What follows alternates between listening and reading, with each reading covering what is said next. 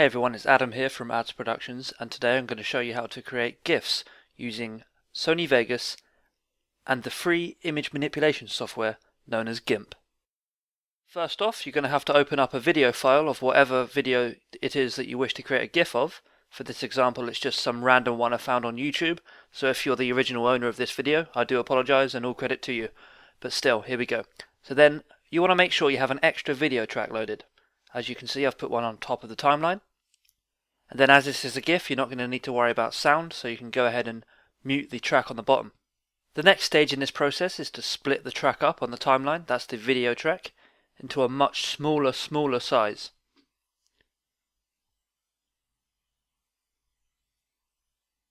And then when you've done this, what you're going to then do is select an individual frame by dragging just a tiny bit to the right or left and then you want to go to File, Export as the image file. The reason for this is because we want to create a snapshot which we're going to use as our background. So as you can see here I'm zooming in, I'm finding a frame that I think is applicable, so I've moved it just to the right, ready, there, just highlighted it just to the right one frame. So then when we have this, we go File, Render As, Image Sequence File, at the very top,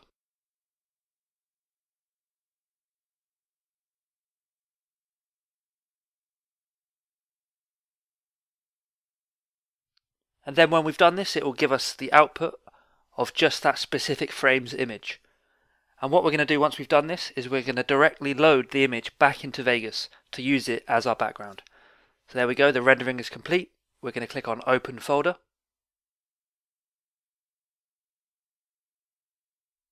Find the image that we've just created.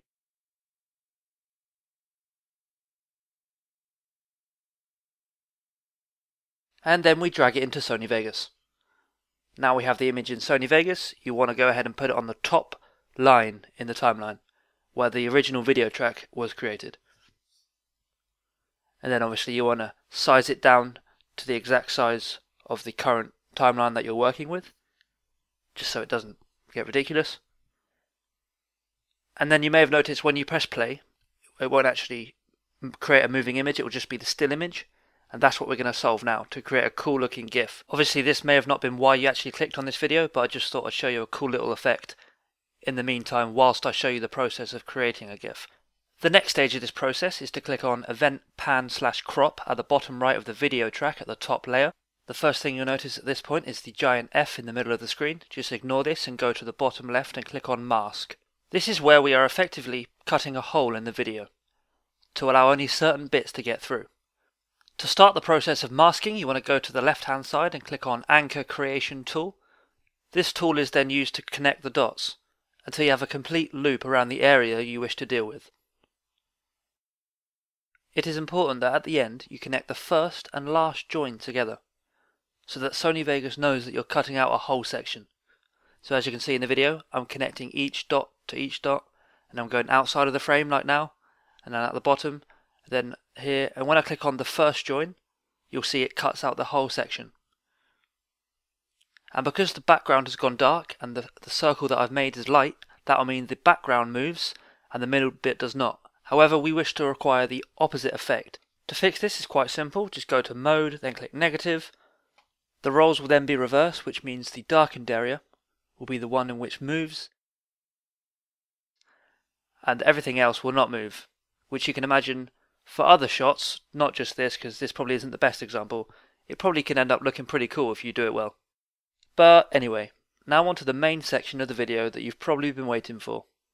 Or you've probably skipped to it and just ignored the first three minutes and something of this video. So now you have this bit of video clip, otherwise known as our GIF, in the making. Select the whole timeline that you've been working with. Go to File, Render As, and then you want to save it as a JPEG under Image Sequence. Make sure you name it something suitable like test or just leave it as untitled if you're lazy like me. And then go ahead and click render and then you should see a progression bar come up until the file has been created. Once it's then been created, navigate to the folder that you saved it in.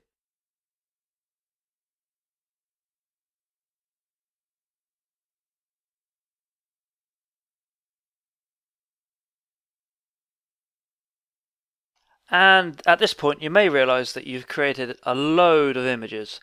You're thinking, oh my god, what's gone wrong here? Nope, nope, nope, this is fine.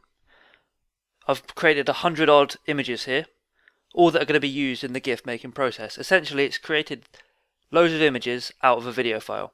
So right click on the first image and open in GIMP.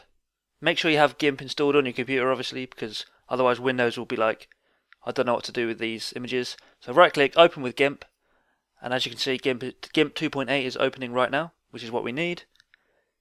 Give it a bit because my laptop isn't the fastest in the world. And there we go.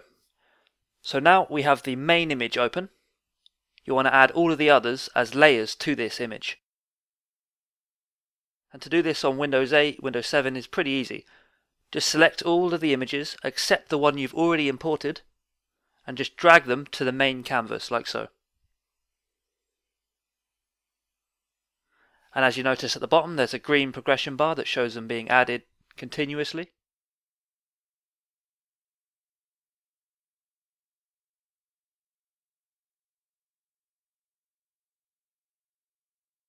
Now that we've got all the images set up in GIMP to make sure that the GIF works, firstly go to Image, then go to Mode, click on Index. This just sets the settings up correctly just to make it compatible and the best quality.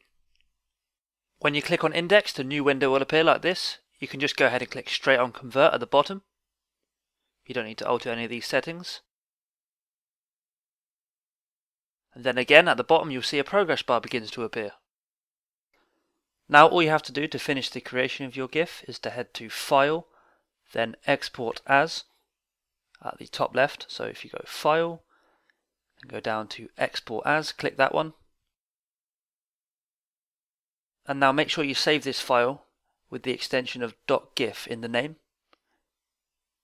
And doing this will make a new window appear to allow you to change the GIF, like so. So I'm going to name it .gif at the end We're Gonna go and save it. Then the new window appears. Make sure it's important that you click as animation or this file will not be saved correctly. So you have to press as animation, the little tick box. Then once you press the export button, wait a few seconds and you're done. That's pretty much all there is to it really. Now go ahead and just make sure you save the GIF correctly by launching it in your favorite web browser. So thanks for watching. This has been Adam from Adz Productions with another tutorial video in Sony Vegas. Please subscribe for more videos. Thanks a lot.